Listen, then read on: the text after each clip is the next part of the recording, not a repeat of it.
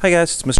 with you again. I'm going to be talking about another AP review topic for AP Chemistry. This time we're going to talk about mass spectrometry. So this is a mass spectro spectrophotometer here, um, or what we call a mass spec. This is a very simplified version you're seeing right here. Uh, it consists of an evacuated glass tube filled with nothing. Obviously, it's a vacuum. And we're injecting some sample into it. So over here, you're going to see the sample.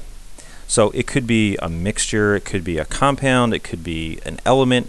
And we're going to put it in there and it's going to be heated and vaporized. So there's a heating element inside right here that is going to heat up the sample.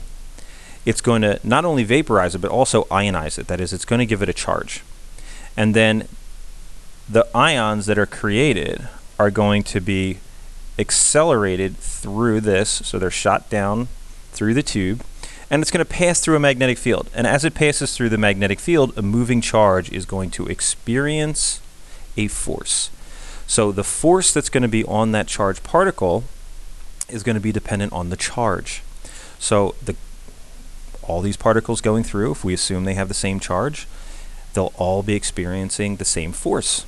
However, different mass particles, and you'll see this is shown by a thicker line, has a higher mass, is going to be deflected less because, as Newton's law tells us, force equals mass times acceleration. The bigger the mass, the less the acceleration it's going to experience. And so the bigger particles aren't deflected as much, and the smaller particles are deflected more, and there's a little detector over here which is going to measure the amount of that deflection and be able to measure the mass. So what this does is it tells you the mass of different particles and how many of each of those different mass particles you're going to have. Well, in reality, this is more what the machine looks like in a real version. So this is set up for a gas chromatograph mass spec. So a gas chromatograph, if you remember chromatography, it separates mixtures. In this case, we have a gas tank over here, right? And that tank is going to send our mixture through and it's going to separate whatever our compounds are in that mixture and it's going to feed those compounds into a mass spec. So the GC separates mixtures for us and then the mass spectrometer tells us what those are. And you'll see that there's a readout up here, which I placed in, and it gives us this nice little readout. So what we wind up with is things like a bar graph that shows us the amount of each thing that came through. Now, what does that look like? So here would be a mass spectrum of neon. So obviously neon, this is just an element. And what you're going to see is that there's some different peaks. You're going to see this in the form of a bar graph. So we have a peak here, we have a peak over here, we'll see this one. Now, we're going to look at how this comes out in table form. So in a table form, if we were to see what this data tells us, is that there's actually three different particles that come out, three different masses. So one is neon 20, one's neon 21, and one is neon 22. And we're going to see that those each have different masses. So neon 20 weighs 19.99, neon 21, let's say it weighs 20.99, and this would be the neon 22. And these come out in different abundances. And where we get that is from the height of those peaks. So when we come back here, if we look at the height of the peaks, the relative heights of the peaks, and for whatever reason, they always set the highest one at 100%, and we compare that to the other ones. We come back over here, you'll see, boom, that these abundances, right, 90.92%, 0.257, and 8.82, these are the abundances. So most neon is neon 20. Well, these isotopes, what we're going to look at is try and figure out, well, you know, what would the average be if we brought all of these together, looking at those components? So what does a sample problem look like with this? So let's say I ran into this one. We have some unknown substance, and we look at its mass spectrum, and it tells us that the substance is 60.10% uh, one particular isotope, that's M69, and 39.9% some other isotope, which is M71. M is obviously just standing for some metal. The mass values for M69 and M71 are 68.93 and 70.92. What's the average atomic mass and what is the element? So, how are we going to approach this problem? we're going to take that data and we're going to start by writing the masses of these. So the two things we have are M69, right? The lighter isotope, and we have M71. The mass of each one, so let's start with this one, we, it says is 68.93 AMUs. I'm just going to write the number. And this one's going to be 70.92.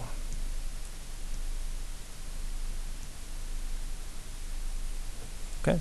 Well, what do we do to get the average? Well, we then are going to take those numbers and we're going to multiply by their relative abundance because the average atomic mass is the relative weight. So the weights for each one, because they're not equal quantities of each one, and divide them.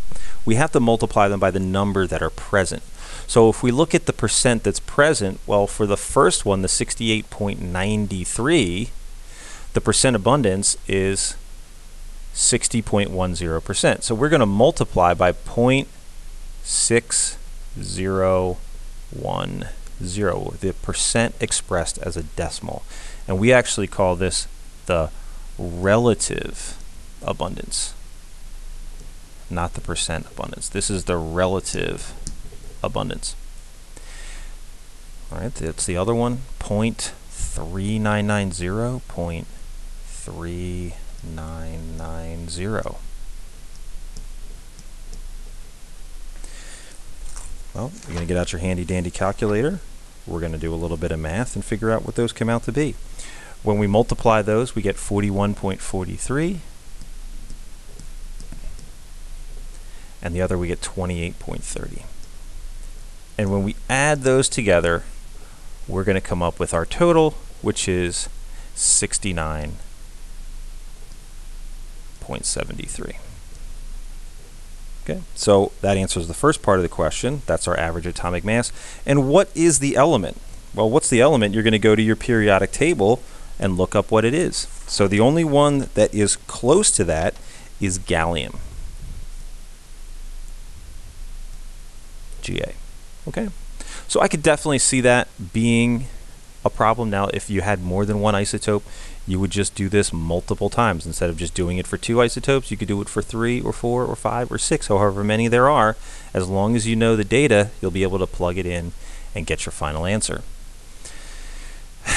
The other way to take this problem, we've also seen this done the other way. If you have the relative abundances, or rather, if you have the masses of each and you have the average, can you go back and get what the relative abundances are? So this is taking the problem and kind of flipping it on its head.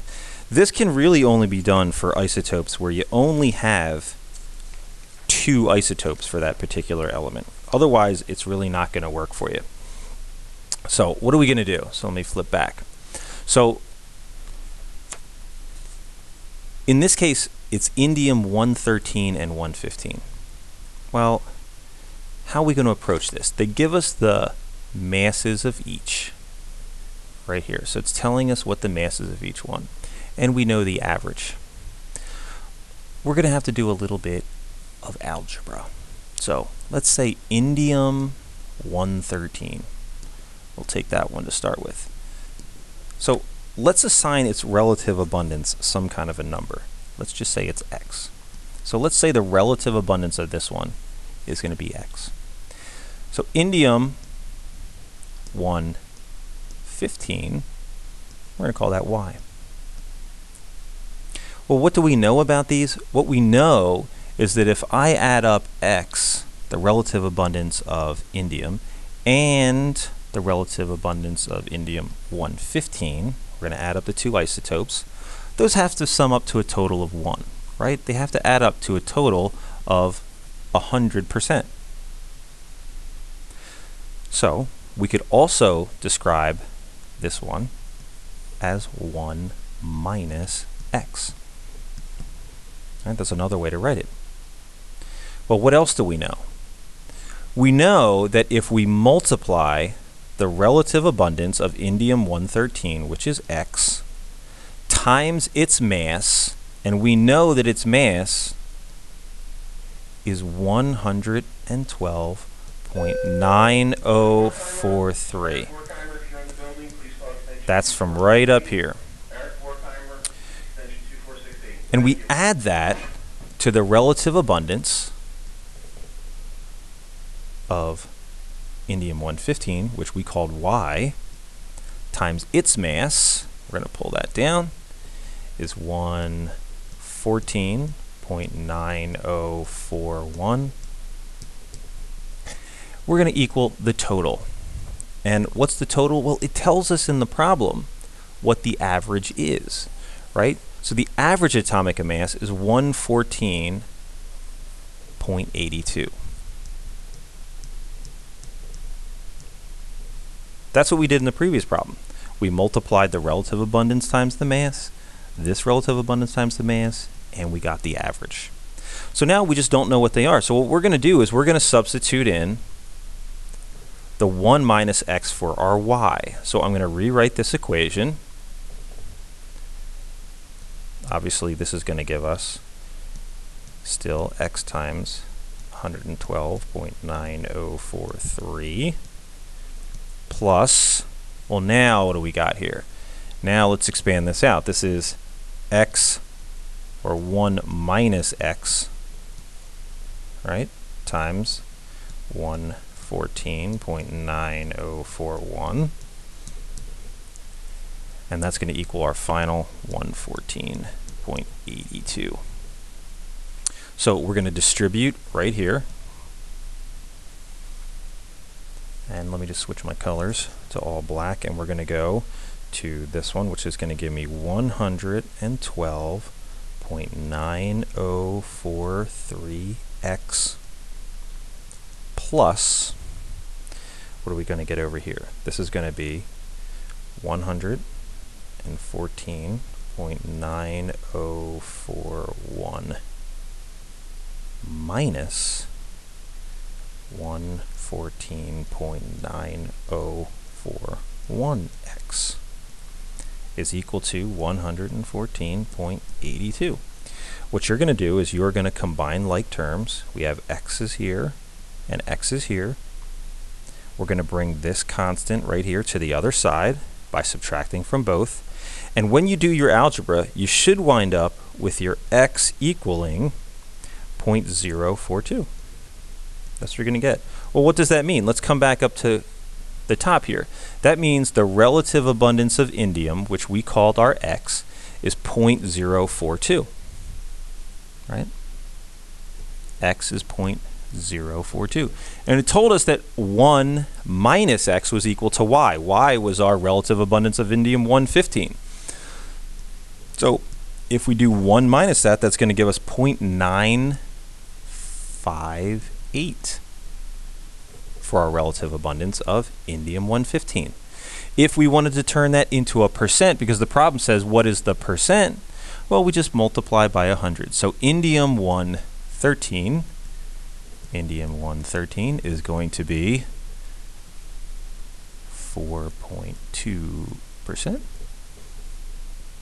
And our indium 115 is therefore going to be 95.8%. And we know that we did our job right because these two are going to add up to be 100%. Okay? One last problem that we could see. So let's look at a slightly more complicated uh, mass spectrum. So in this case, we've got bromine. So bromine, right, is a diatomic element. And when bromine is injected into the mass spectrometer, what we get is not just one peak. We actually get five peaks. And bromine only has two naturally occurring isotopes. It's got bromine 79 and bromine 81. So the question asks, can you explain why there are five different peaks? Why would we wind up with five different peaks instead of just two different peaks for something like bromine? Well, what you have to think about is what are the possible combinations you can have? You have a bromine molecule, right? So bromine molecule, if we look, we wind up with peaks at 79 and 81 down here, right? That makes sense. Those are our two different isotopes, right? So I've got just a single bromine 79.